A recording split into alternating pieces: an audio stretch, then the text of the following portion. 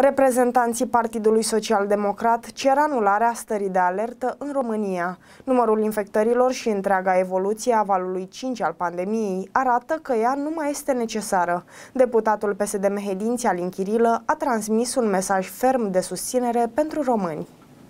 România s-a aflat în stare de alertă sanitară din primăvara anului 2020, cu excepția unei scurte perioade în care a fost în stare de urgență, iar restricțiile au venit de la sine. Sistemul economic a fost dur afectat de aceste măsuri, iar cetățenii spun că s-au săturat și își doresc să revină la normalitate. Bine ar fi, bine ar fi, numai pentru copilași și pentru tine și pentru toată lumea, bine ar fi să ne Dumnezeu să ne scape de aceste cazuri, că mare rău s-a abătut asupra omenirii. Dar vă doriți să vă întoarceți la normalitate? Normal că îmi doresc foarte mult, că foarte mult îmi doresc să ne, la normalitate, toată lumea să fie voioasă, să nu stăm închiși ca un cățel cu bomniță la gură. Sper că ne-am săturat cu, cu măștile pe față. Nu ne mai cunoaștem la față vorba aia.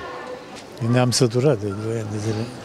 Și atâtea restricții de... Președintele PSD a declarat că nu consideră necesar prelungirea stării de alertă în contextul pandemiei de COVID-19 în România. Acesta a dat exemplu țărilor din Europa, care au început pe rând să renunțe la restricțiile COVID. Marcel Ciolacu a menționat de asemenea faptul că ar fi util să avem o stare de urgență pe energie, dacă nu sunt găsite urgent soluții pentru plafonarea prețurilor. Starea de alertă sanitară trebuie să înceteze. Personalul medical care a fost angajat în această perioadă, rezidenții, dar și specialiștii din DSP și toți cei care au fost în prima linie a luptei cu pandemia trebuie să rămână în sistemul sanitar. Pentru PSD, adevărata stare de alertă va însemna de acum înainte să protejăm populația, pe cei vulnerabili în special, dar și economia în fața creșterilor de prețuri, a postat Marcel Ciolacu pe pagina sa de socializare. Deputatul PSD Mehedinți Alin Chirila a transmis de asemenea un mesaj ferm de susținere pentru români. Acesta i-a asigurat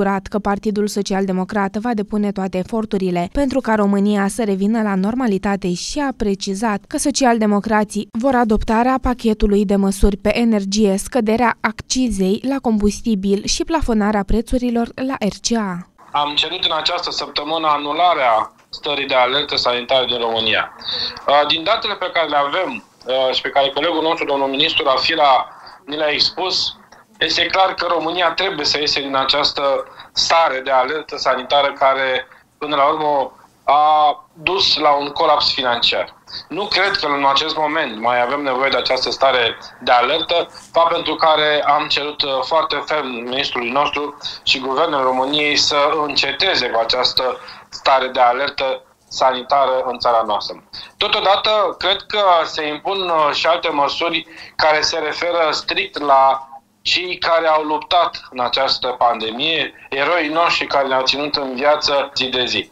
Am cerut ca toți acești oameni care au luptat zi și noapte pentru sănătatea românilor să se găsească o soluție ca ei să rămână în sistemul în care au luptat timp de peste 2 ani de zile. Totodată, în această perioadă S-a vorbit uh, foarte intens pe mai multe teme sociale în uh, Partidul Social Democrat, atât la nivel central cât și la nivel local, fiindcă suntem datori la acest moment să luăm mai multe măsuri uh, pentru românii noștri. Uh, cred că avem nevoie de un pachet de măsuri pentru energie. Trebuie să stopăm aceste prețuri galopante la tot ceea ce înseamnă energie electrică sau gaze naturale.